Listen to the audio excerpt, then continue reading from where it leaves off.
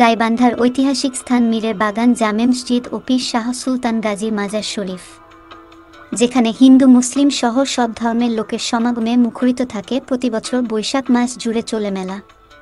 কথিত আছে মীরের বাগান মাজারে যে কোনো মানত করলে তা পূরণ হয়ে যায়।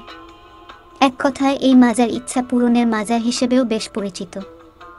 এখানে মানত করে ইচ্ছা পূরণের আশায় তাই দান দিতেও কৃপণতা নেই ভক্তগণের। কেউ দিচ্ছে টাকা, হাঁস, মুরগি, কবুতর সহ ছাগল ও গরু মাস ব্যাপী চলে তবারক হিসেবে রান্না করা হয় সুস্বাদু খিচুড়ি।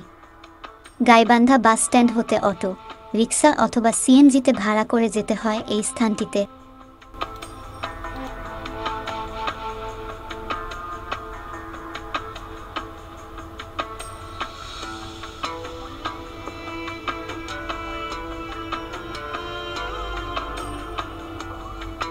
এখন থেকে এক হাজার বছরেরই আগের মসজিদ। মসজিদের তিনটি পাথরের লিপিবদ্ধ বা খোদিত লিপি থেকে জানাতে পারে ইসাই বা খ্রিস্টাব্দে স্থাপিত মীরের বাগান জামে মসজিদ ও পীর শাহ সুলতান গাজীর মাজার শরীফ। এটি একটি বাংলাদেশের গাইবান্ধা জেলার ঐতিহাসিক স্থান, যা মীরের বাগান মাজার শরীফ নামে ব্যাপক পরিচিত, যা গাইবান্ধা জেলা সদর উপজেলার দারিয়াপুরের পূর্ব পাশে অবস্থিত। দীর্ঘদিন পতিত থাকা তেরোশত আট ইন সালে সৈয়দ ওয়াজেদ আলী নামক এক ধর্মীয় ব্যক্তিত্ব এ মসজিদ আবিষ্কার করে সংস্কার করেন। এরপর কারি করিম বক্স ঢাকা ময়মনসিংহ থেকে আসেন। এখানে তিনি ছিলেন একজন বুজুর্গ ব্যক্তি।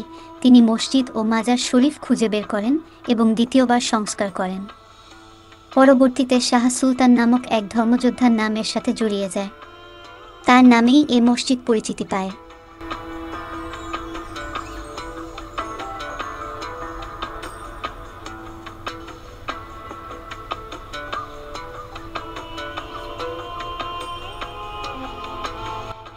এছাড়াও এই মসজিদের পাশেই শাহ সুলতান গাজীর মাজার অবস্থিত।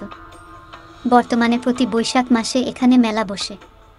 এই স্থানটিতে শাহ সুলতান গাজী সহ আরও দুইজন ইসলাম প্রচারকের মাজার আছে, তারা হলেন এক। মীর মোশাররফ হোসেন ও দুই। ইবনে শরফ উদ্দিন হোসেন। কারি করিম বক্স ছিলেন এখানকার প্রথম খাদেম ও দরবেশ সৈয়দ ওয়াজেদ আলী সাহেবের প্রধান খলিফা। মসজিদের পাশের কুয়াটি তারই স্থাপন করা। মসজিদ ও মাজারের বেশ কয়েকটি স্থানে কারি করিম বক্স সাহেবের নাম লিপিবদ্ধ আছে। শাহ সুলতান গাজীর মসজিদটিও তিন গম্বুজ বিশিষ্ট। মসজিদটি আয়তকার, কিন্তু তিনটি বর্গের সমষ্টি। প্রতিটি বর্গের উপর একটি করে গম্বুজ। মাঝের গম্বুজটি অধিক কারুকার্য শোভিত ও একটু উঁচু রয়েছে।